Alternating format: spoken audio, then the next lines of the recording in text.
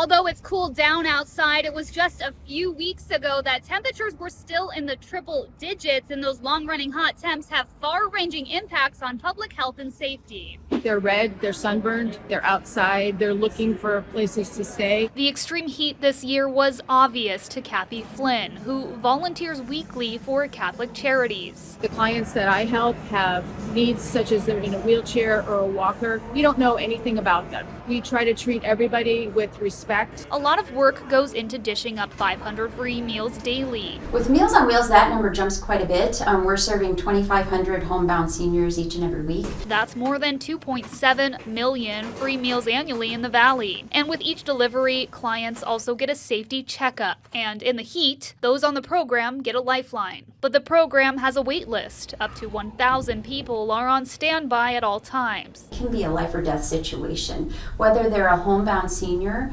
that you know maybe doesn't have enough funds to actually run their air conditioning all the time, someone who may be unhoused who is coming in and that that meal time is that only time of day where they have a chance to drink water that can really be a hardship for someone. Over a six month span 112 days were over 100 degrees with 36 days over 110 we actually changed our operations a little bit so we could handle um, the extreme temperatures. Like with our shelter we opened early. We did extra perimeter checks around our campus we um, put out signs to make sure individuals know where cooling stations were open. Dangerous weather stuck around. Like, you can't stay out here. This is dangerous. October 6th broke a record for the all time latest 100 degree day in a calendar year. The autumn heat wave triggering yet another cooling center activation. Cooling stations are opened and places are available for people to go. The question is whether people have that ability to get that information. We need to focus our efforts in identifying more cooling locations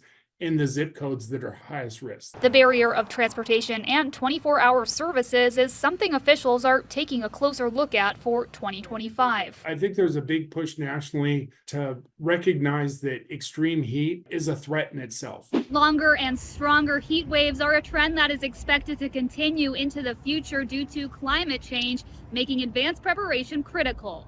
Reporting in Las Vegas, I'm Geneva Zoltek.